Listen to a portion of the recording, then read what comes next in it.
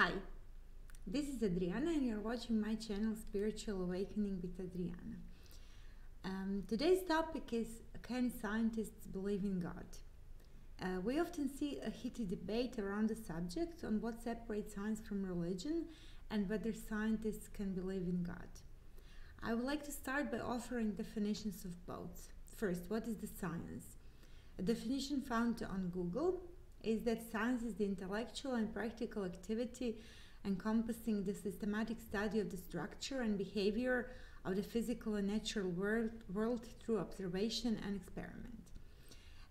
Definition of God is twofold. In Christianity and other monotheistic religions, God is the creator and ruler of the universe and source of all moral authority, the supreme being, and the second definition is that in certain other religions, God can be a superhuman being or spirit worshipped as having power over nature of human fortunes uh, or a deity. And uh, now let's go back into the history of the humanity. Once upon a time, people were so afraid of thunders and they thought that God was responsible for them. Years went by, and at some point, scientists people that have to be very inquisitive by the very nature of what science is discovered that thunder is in fact caused by lightning. When a lightning bolt travels from the cloud to the ground, it actually opens up a little hole in the air, and this is called a channel. Once then light is gone, the air collapses back in and creates a sound wave that we hear as thunder. This is all not something that God of Thunder does, but there are perfectly scientific reasons why this occurs. And now we are at a point um, where we have this knowledge. We understand fully why thunders occur, and we no longer, as civilization, uh, as a human race, we, we no longer think that God Thor, in fact, God of Thunder, had many names in polytheistic cultures over the years, and in North Germanic culture, he was called Thor the humanity protecting thunder god. Uh, we, we no longer think that Thor is responsible for them. So this is one example how our knowledge of the world around us expands our consciousness and understanding. And uh, scientists, in fact, helped debunk the myth over the years, over the centuries, gathering information, knowledge about physics they helped debunk the information and myth uh, that we were cherishing once upon a time in the past uh, that there is the god of thunder. And they reduced it basically to the natural phenomena that is based in physics. There is a very funny story about science and how human imagination can take us further than scientists. Uh, and it is about hg wells um, and in 1914 he published the novel The World Set Free. The book is in fact a book about the World War in 1956 in which England and France fight Germany and Austria.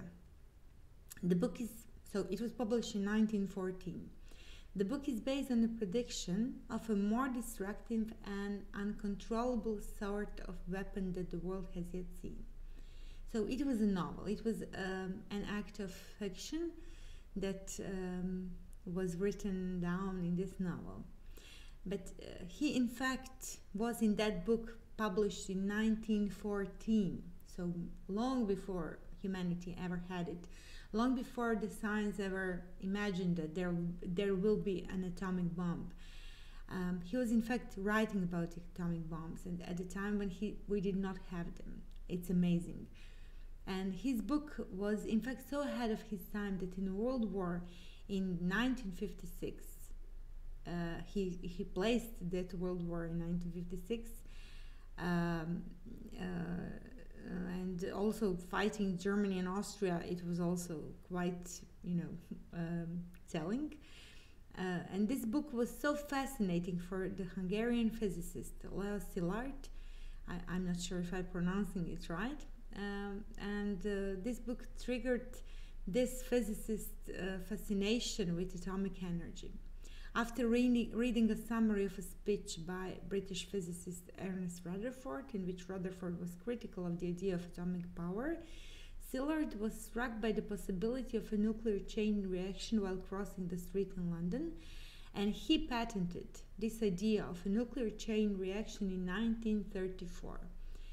So, in this example, we have a writer writing about a future that was not yet to be in a novel. So, it was an art of fiction that inspired physicists to think of a nuclear chain reaction. And it is amazing how all those things sort of came together. And this is how the world around us gives us answers and brings us closer to understanding what God is within us. Today, we are still faced with a lack of full understanding of the world around us in many areas of science, especially in quantum physics. We do not really know how quantum computers work, but we know they do work. So, in, in accordance with Clarke's first law, that any sufficiently advanced technology is basically indistinguishable from magic, we can conclude that there are answers that we will discover in the future and that will open the new frontiers of understanding. Maybe one day we will think, oh my God, we were so stupid, we did not understand this, and it was just in front of us. And I believe that redefining what God really is will be the very important step in making peace between science and God. And one digression when I talk about God and spirituality, I never talk about organized religions. While organized religions can definitely be our help on your road to spirituality, they're too much um, of corporate like entities and structures uh, to really be taken seriously by anyone that understands spirituality at all. They can help, but they cannot be relied upon for all the answers. So, if we try to redefine God and we say that God is just a force that is still unknown to us, and we still do not have ex- explanation for some questions, and um, that those questions that are most important are about the purpose of life, how we came to be, and where we go upon our physical death, then science and gods do not look so far apart. Because even with all the laboratories in the world, those questions are still unanswered, and we are not able to answer them as of now. And I'm not satisfied with a science that cannot, with 100% certainty, tell us if our consciousness, spirit, however you will call it, survives our death, and why we even have consciousness or how to ignite it in robots, for instance, uh, if you are talking about the artificial intelligence. And if you ask me about if evolution uh, is possible, if there is God, I say, of course. Evolution is a process that is logical, scientific, and of this world. However, if we try just to think about uh, what Nick Bostrom, philosopher, says that we might be living in a simulation then evolution might be just a code, a program that is executed and that follows some very logical rules to evolve us into higher beings. And in that regard, higher beings that created the simulation might be what we now call God. So, can a scientist believe in God? Of course he can, but not in a God with a big beard that prosecutes and tortures people if they miss the church on Sunday. His quest for God has to be as distinguished as is the goal of science. So, scientists will one day have the knowledge and understanding to systematically understand the structure and behavior of the physical and natural world before conception and after death, before the Big Bang and beyond. And they will be able to understand the entire world around us physical, natural, but also spiritual.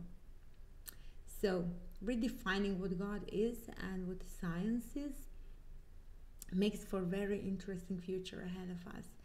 And I'm looking forward to seeing the answers that we will get. And I believe that the technology and uh, the development of science, development of our consciousness, development of our understanding what we really are is one of the crucial parts of that quest. Thank you so much for watching. I hope you liked today's video. If you did, please hit the like button. Please subscribe, hit the little bell. We publish uh, every Monday new videos and uh, we have lots of very interesting topics ahead of us. Uh, take good care, have a great day, and uh, I look forward to having you watch my videos very soon again. Bye.